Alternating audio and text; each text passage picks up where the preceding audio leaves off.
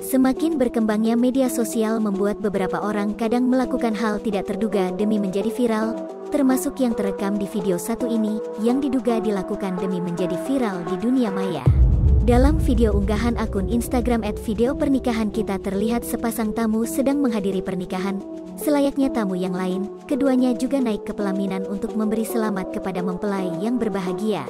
Namun sepertinya pernikahan ini punya makna berbeda, Tampaknya sang pengantin laki-laki merupakan mantan kekasih dari tamu perempuan di video tersebut. Namun aksi tak terduga si tamu laki-laki lah yang membuat video ini langsung menjadi buah bibir, sebab tampak tamu yang mengenakan atasan batik biru itu menarik pasangannya turun dari pelaminan dengan cara menjambak rambutnya. Dengan terlatih tati si tamu perempuan lantas mengikuti langkah pasangannya untuk turun dari pelaminan, sambil perlahan melepaskan tangannya dari empunya acara. Bukan cuma malu, tapi hatin ancur-ancuran, tulis pemilik video pada Rabu, tanggal 30 Maret tahun 2022. Meski sepertinya video ini dibuat dalam rangka hiburan semata, warganet justru dibuat geram karenanya.